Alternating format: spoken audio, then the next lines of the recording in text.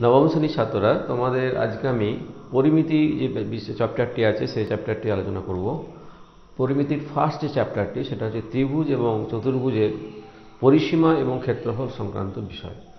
এখন, পরিমিতি সম্পর্কে আমাদের ধারণা আছে। পরিমিতি বলতে আমরা কি বুঝি? না, পরিমিতি হচ্ছে কোনো জ্যামিতিক চিত্রের বা জ্যামিতিক আকৃতির বিভিন্ন রাশির পরিমাপ। রাশিগুলোর মধ্যে প্রধানত তার পরিসীমা এবং ক্ষেত্রফল। এছাড়াও জ্যামিতিক চিত্রের সেটা বিভিন্ন রকমের জ্যামিতিক চিত্র হতে পারে ত্রিভুজ হতে পারে চতুর্ভুজ হতে পারে আহ, বর্গক্ষেত্র হতে পারে সামান্তরিক হতে পারে সমবাহু ত্রিভুজ হতে পারে নানা রকম ত্রিভুজ চতুর্ভুজের বিভিন্ন আবার শ্রেণীবিভাগ আছে সেই সমস্ত কিছু হতে পারে। তো সেই জ্যামিতিক চিত্রগুলোর বাহুর দৈর্ঘ্য নির্ণয় করা সেটাও পরিমিতির অন্তর্ভুক্ত বা তার কর্ণের চতুর্ভুজের কর্ণের দৈর্ঘ্য বা রম্বসের কর্ণের দৈর্ঘ্য এগুলো পরিমিতিরই অন্তর্গত। তো আমাদের এই সমস্ত রাশিগুলি আমরা পরিমাপ করব। এই পরিমাপ করার পদ্ধতিটাই হচ্ছে পরিমিতি। এখন আমাদের প্রথমে যেটি আছে, সেটা হচ্ছে ত্রিভুজ এবং চতুর্ভুজের পরিসীমা এবং ক্ষেত্রফল। আমরা প্রথমে, সর্বপ্রথমে আমরা ত্রিভুজের ক্ষেত্রফল এবং পরিসীমা সম্পর্কে আলোচনা করব। এখন তার আগে মধ্যে জানতে হবে ত্রিভুজ আমরা কাকে বলি? ত্রিভুজ হচ্ছে কি? না, ত্রিভুজ হচ্ছে তিনটি রেখাংশ দ্বারা আবদ্ধ যে সামতলিক চিত্র বা ক্ষেত্র, সেটাই হচ্ছে ত্রিভুজ। তিনটে রেখাংশ বা সরলরেখাংশ দ্বারা সীমাবদ্ধ যে সমতলিক চিত্র আমরা পাই, সেটাই হচ্ছে ত্রিভুজ। যেমন ধরো,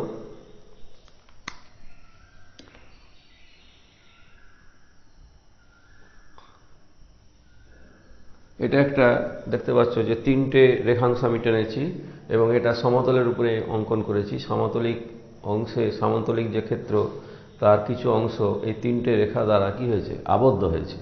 তিনটে রেখা দ্বারা সমতলের যে অংশটি আবদ্ধ হয়েছে সেটাকে আমরা বলব ত্রিভুজ অর্থাৎ এই অংশটা হচ্ছে ত্রিভুজ। এবং এটা হচ্ছে সরলরেখাংশ তিনটে আছে। এবং এই তিনটে সরলরেখাংশকে বলা হচ্ছে ত্রিভুজটির বাহু। সুতরাং এর পরিসীমা বলতে কি বুঝব? না ত্রিভুজের পরিসীমা।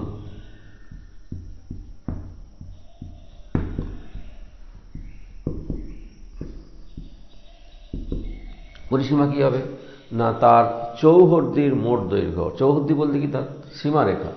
তার টোটাল সীমারেখার যে দৈর্ঘ্য সীমারেখার যে মোট দৈর্ঘ্য, সেটাই হচ্ছে ত্রিভুজটির পরিসীমা। এখানে সীমারেখা কটা আছে? তিনটে আছে। তিনটে রেখার মোট যে দৈর্ঘ্য, সেটাই হবে ত্রিভুজটির পরিসীমা এবং এই তিনটে রেখাংশকে বলা হবে ত্রিভুজটির বাহু।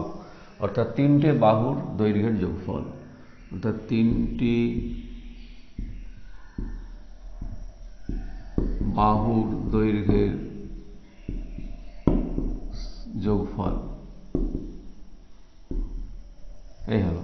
ত্রিভুজের পরিসীমা। এবারে ত্রিভুজের আবার বিভিন্ন প্রকারভেদ আছে। বাহুগতভাবে আমরা ত্রিভুজকে তিনটে ভাগে ভাগ করতে পারি। বিষমবাহু ত্রিভুজ, যার কোনো বাহু সঙ্গে কোনো বাহু সমান নয়। আর যার সমস্ত বাহু সমান, সেটা হচ্ছে সমবাহু ত্রিভুজ। আর যার দুটো বাহু, অর্থাৎ তিনটে বাহুর মধ্যে যে কোনো দুটো বাহু পরস্পর সমান, সেটাকে বলা হবে সমদ্বিবাহু ত্রিভুজ। সুতরাং এই তিন ধরনের ত্রিভুজের ক্ষেত্রে পরিসীমা কী হবে? সমবাহু ত্রিভুজ যদি হয়, তাহলে তিনটে বাহুর দৈর্ঘ্যই সমান।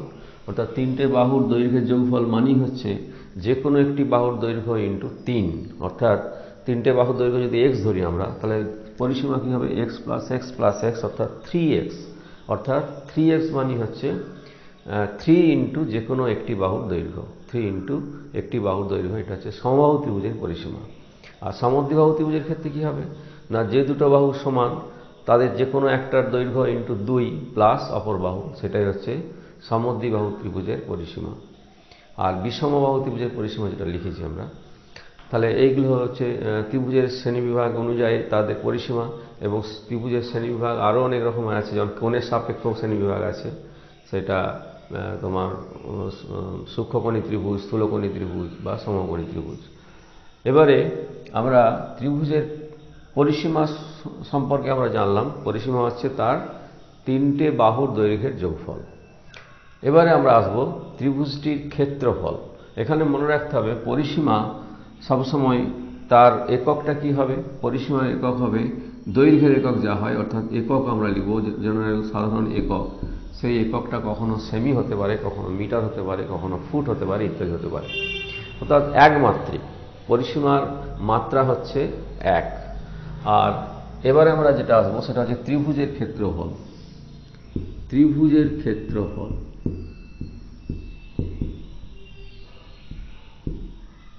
ত্রিভুজের ক্ষেত্রফল বলতে আমরা কি বুঝব? না, ত্রিভুজের ক্ষেত্রফল হচ্ছে ত্রিভুজটা সমতলের যে অংশ, যে জায়গা ধারণ করে আছে, ত্রিভুজটা সমতলের যে অংশ দখল করে আছে, সেই অংশটাকে, সমতলের সেই অংশটার মোট যে পরিমাণ, সেটাকে বলা হবে ক্ষেত্রফল। অর্থাৎ এই অংশটা, এই তলের যে মোট পরিমাণ, সেটাই হচ্ছে ত্রিভুজের ক্ষেত্রফল।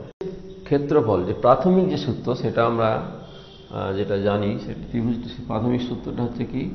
না, এটা আমরা জাস্ট মনে রাখব, সেই সূত্রটা হচ্ছে কি?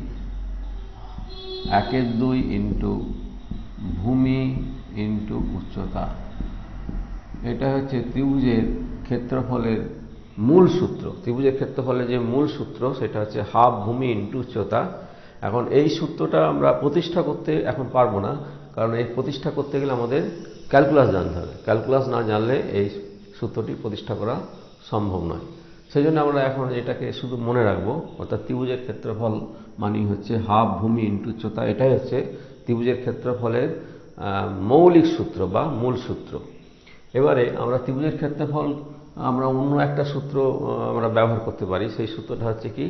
না, ব্রহ্মগুপ্তের সূত্র, অর্থাৎ ত্রিভুজের ক্ষেত্রফল সংক্রান্ত ব্রহ্মগুপ্তের সূত্র। সেটা কীভাবে আমরা প্রতিষ্ঠা করব? না, ব্রহ্মগুপ্তের সূত্রটা হচ্ছে ত্রিভুজের ক্ষেত্রফল ত্রিভুজের ক্ষেত্রফল সমান root over of s into s minus a s minus b s minus c এখানে এসটা হচ্ছে ত্রিভুজটির অর্ধ পরিসীমা। অর্থাৎ এখানে বাহু দৈর্ঘ্যগুলো আমরা ধরে নিচ্ছি। এই বাহুর দৈর্ঘ্য ধরলাম এ এই বাহুর দৈর্ঘ্য ধরলাম বি এই বাহুর দৈর্ঘ্য ধরলাম সি সুতরাং এসটা হচ্ছে অর্ধ পরিসীমা। অর্থাৎ টোটাল পরিসীমার অর্ধেক এস এখন এই সূত্রটা আমরা এস্টাবলিশ করতে পারি কীভাবে? না, এখানে আমরা এ থেকে একটা লম্ব টানলাম বিশির ওপরে অর্থাৎ উচ্চতা অঙ্কন করলাম। এটা হচ্ছে উচ্চতা ডি বিন্দুতে শেড করল, এবং এটা হচ্ছে এইচ এইচটা হচ্ছে ত্রিভুজটির উচ্চতা। এইচটা ধরলাম ত্রিভুজটির উচ্চতা। তাহলে এখানে আমরা এই উচ্চতা বা লম্বটি ভূমিকে দুটো অংশে ভাগ করেছে। একটা অংশ কি বিডি একটা অংশ- অংশ হচ্ছে সিডি তাহলে বিডির দৈর্ঘ্যকে যদি আমরা এক্স ধরি বিডিকে আমরা যদি এক্স ধরি, তাহলে সিডি কত হবে? না, মোট দৈর্ঘ্য তো এ সুতরাং সিডি হবে এ মাইনাস এক্স অতএব আমরা এখান থেকে দুটো সমকোণী ত্রিভুজ পাচ্ছি। একটা হচ্ছে এডিবি একটা হচ্ছে এডিসি সমকোণী ত্রিভুজের আমরা পিথাগোরাসের নিয়ম প্রয়োগ করতে পারি। পিথাগোরাসের নিয়ম হচ্ছে কি? অতিভুজের স্কোয়ার সমান লম্ব স্কোয়ার প্লাস ভূমি স্কোয়ার। প্রথম ত্রিভুজের অতিভুজ, অর্থাৎ এবিডি সমকোণী ত্রিভুজ। সমকোণী এডিবি সমকোণী, সুতরাং এই ক্ষেত্রে তার অতিভুজ স্কোয়ার। অতিভুজ মানে কত? C square. সি স্কোয়ার সমান লম্ব স্কোয়ার অর্থাৎ এইচ স্কোয়ার প্লাস ভূমি স্কোয়ার, ভূমি কত? X square. অর্থাৎ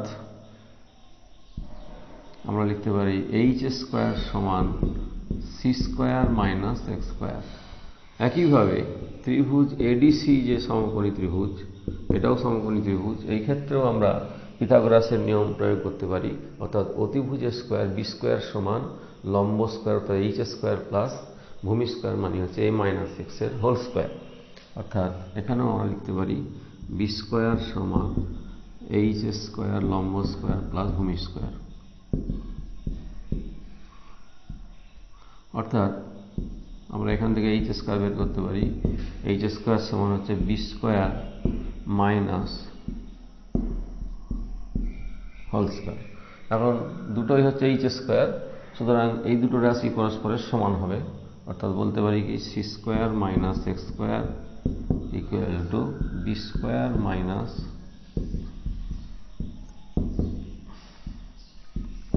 এখন এই মাইনাস এক্স হোল স্কোয়ার যদি আমরা ফর্মুলায় এটাকে ফর্মুলা অনুযায়ী এটাকে যে ভেঙে নিই, অর্থাৎ কত হবে? হোল স্কোয়ার হচ্ছে square minus two a b minus minus plus two a b plus two a x plus b square minus প্লাসে মাইনাসে মাইনাস অর্থাৎ এক্স স্কোয়ার এটা। তাহলে এটাকে আমরা হোল স্কোয়ারটা ভাঙলাম। এবারে এক্স স্কোয়ার কেটে দিলাম। দুটো একই রাশি।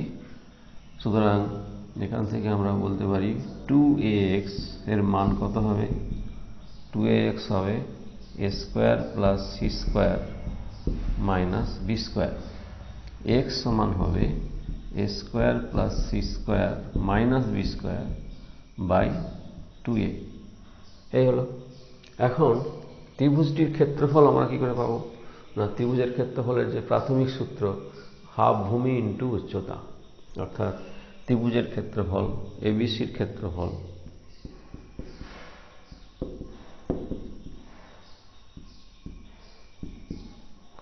ক্ষেত্রফল হবে হাফ ভূমি। ভূমি কত? ভূমি হচ্ছে এ ভূমির দৈর্ঘ্য আমরা এ ধরেছি। ভূমি ইন্টু উচ্চতা উচ্চতা হচ্ছে এইচ অর্থাৎ half into a into h h এর মান আমরা কত জানি? না এইচ সমান এখান থেকে বলতে পারি root over of c square minus x square অর্থাৎ root over of c square minus x square অর্থাৎ half into a into root over of c square এক্সের মান আমরা এখানে পেয়ে গেছি, অর্থাৎ a square plus c square minus b square a square plus c square minus b square whole square by four a square এই হলো। অর্থাৎ ত্রিভুজের ক্ষেত্রফল দাঁড়াল এটা। এবার এটাকে আমরা একটু সিম্পলিফাই করব।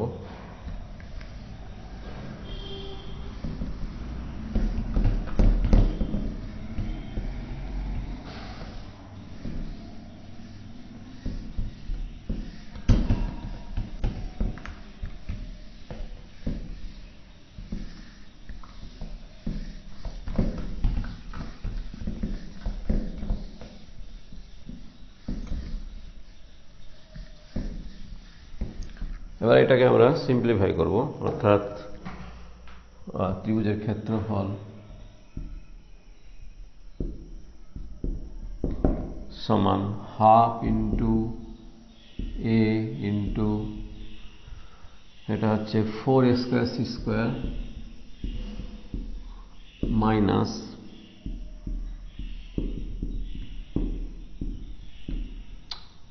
divide by four square, four স্কোয়ারের বর্গমূল করে নিতে পারি একবারে। কত হবে? ফোর স্কোয়ারের বর্গমূল হচ্ছে টু এ। অর্থাৎ half into a into one by two a into, এটাকে আবার লিখতে পারি two ac whole square minus whole square. অর্থাৎ একের চার এ কেটে গেল রুট ওভার অফ এটা সূত্রে, আমরা লিখতে পারি, সূত্র হচ্ছে কি বীজগণিতের যে সূত্র a square minus b square অর্থাৎ a plus b into a minus b অর্থাৎ two a c plus a square plus c square minus b square two a c minus a square minus c square plus b square অর্থাৎ এটা আবার সূত্রে পড়ে যাচ্ছে whole square অর্থাৎ এ plus C তার whole square minus b square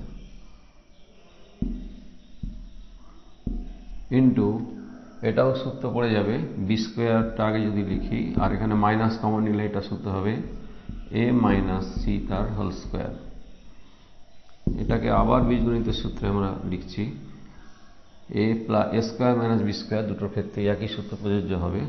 অর্থাৎ a plus b into a minus b অর্থাৎ a plus c minus b a plus c plus b এখানেও তাই হবে b plus a minus c b minus a plus c বীজগণিতের সূত্র ফেললাম দুটোই।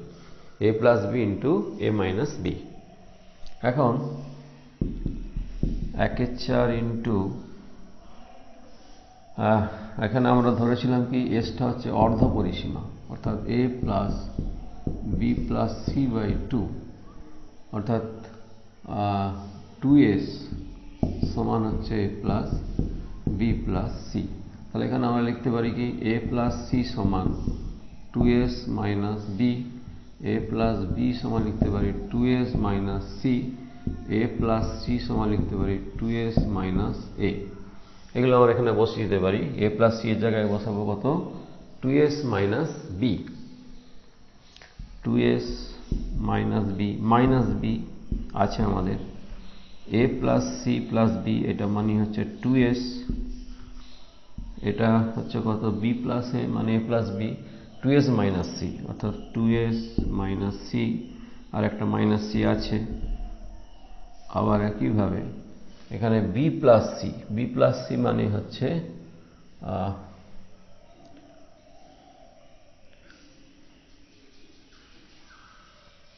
এটা হচ্ছে B plus C শেষেরটা B plus C B plus C মানে হচ্ছে two S minus A two S minus A একটা মাইনাস এ আছে। সুতরাং এটা লিখতে পারি। একের চার into two S minus two B two S two S minus two C two S minus two A অর্থাৎ একের চার, এখান থেকে আমরা চারটে দুই কমন পাচ্ছি। চারটে দুই মানে ষোলো। ষোলোর বর্গমূল কত হবে? চার। অর্থাৎ চার বাইরে আসছে। ইন্টু চার রুট ওভার অফ এসটা আগে লিখলাম S into S minus A সব দুই কমন নিয়ে নিয়েছি। অর্থাৎ root over of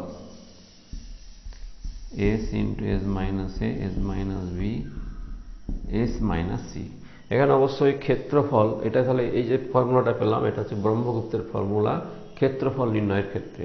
ত্রিভুজের ক্ষেত্রফল নির্ণয়ের ব্রহ্মগুপ্তের ফর্মুলাটি হচ্ছে root over of S into S minus A S minus B S minus C যেখানে এসটা হচ্ছে ত্রিভুজটির অর্ধ পরিসীমা, অর্থাৎ A plus B plus C by দুই।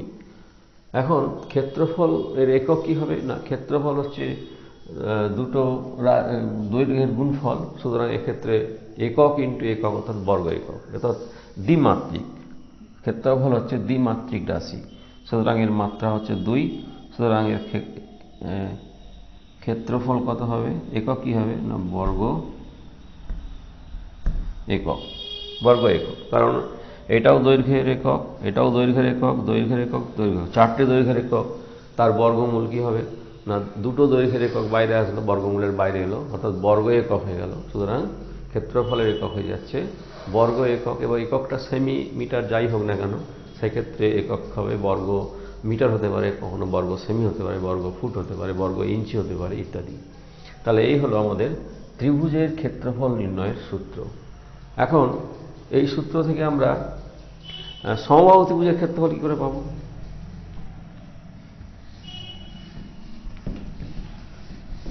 এখান থেকে আমরা সমবাহু ত্রিভুজের ক্ষেত্রফল নির্ণয় করতে পারব। সমবাহু ত্রিভুজের ক্ষেত্রফল কী হবে? না, সমবাহু ত্রিভুজের ক্ষেত্রফল কি? না, সমবাহু হলে তিনটে বাহুর দৈর্ঘ্যই সমান হবে। সমবাহু হলে দৈর্ঘ্যগুলো প্রত্যেকেই সমান হবে। অর্থাৎ সেক্ষেত্রে এস সমান কত হবে? A plus A plus A by দুই। অর্থাৎ সি এ বাই দুই। কারণ তিনটেই সমান। বিও এ সিও এ আর এ তো এ অর্থাৎ তিনটে দৈর্ঘ্যের যোগফল, অর্থাৎ থ্রি এ বাই দুই এসের মান হবে থ্রি এ বাই টু অর্থাৎ সমবাহু ত্রিভুজের ক্ষেত্রফল সেক্ষেত্রে হবে সমবাহু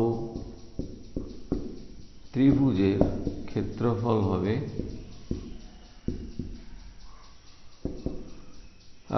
root over of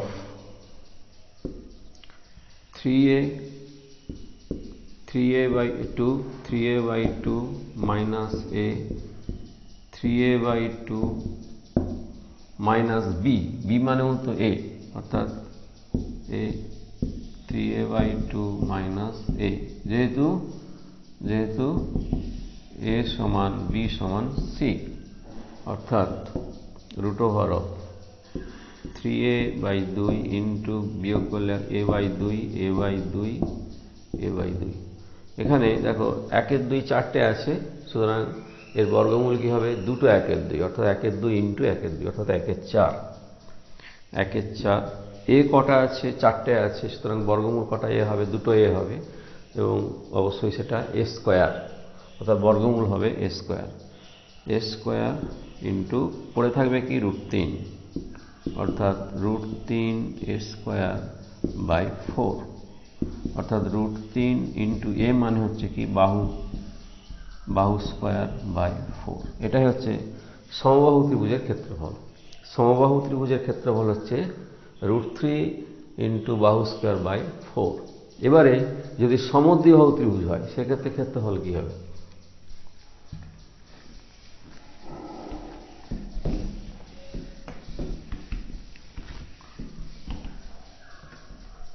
সমদ্বিবাহু ত্রিভুজ, অর্থাৎ দুটো বাহু যার সমান।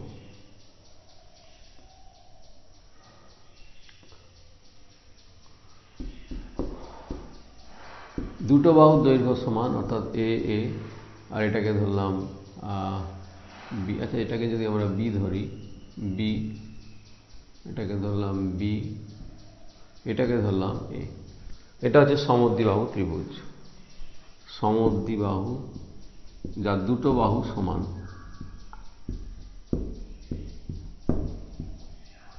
তাহলে সমদ্বিবাহু ত্রিভুজের ক্ষেত্রফল নির্ণয় করতে গেলে আমাদের প্রথমেই জানতে হবে তার উচ্চতা কত। উচ্চতা আমরা এখান থেকে টানলাম, লম্ব টানলাম, এটা হচ্ছে উচ্চতা। এইচ এটা হচ্ছে ত্রিভুজটির উচ্চতা।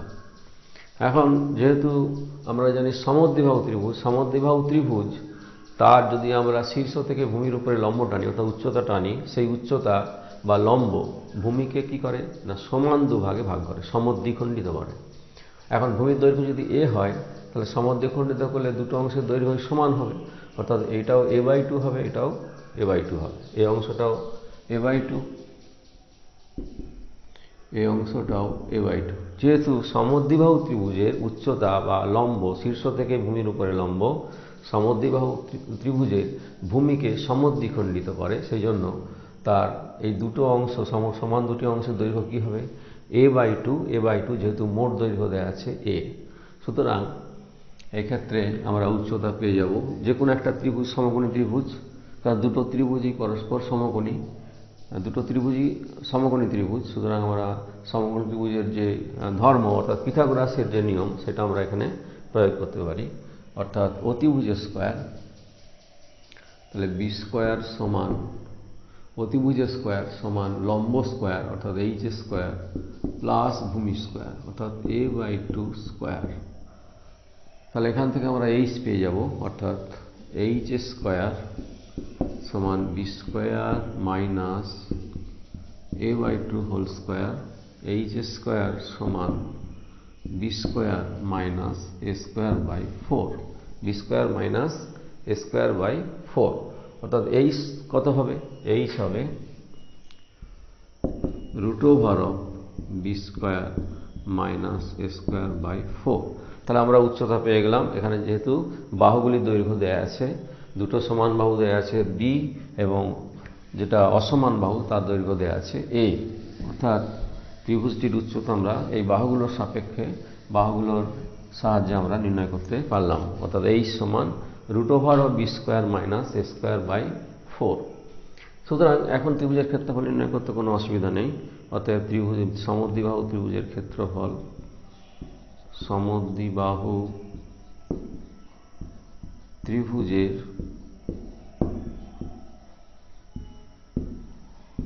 ক্ষেত্রফল সমান হাফ ভূমি ইন্টু উচ্চতা। হাফ ভূমি হচ্ছে কত? এ ইন্টু উচ্চতা হচ্ছে এইচ অর্থাৎ half into A into root over of B square minus square by four, অবশ্যই এগুলো একক মানই হচ্ছে, বর্গ একক। ত্রিভুজটির সমদ্বিবাহু ত্রিভুজের ক্ষেত্রফল নির্ণয়ের সূত্র আমরা এখান থেকে এইভাবে আমরা পেলাম।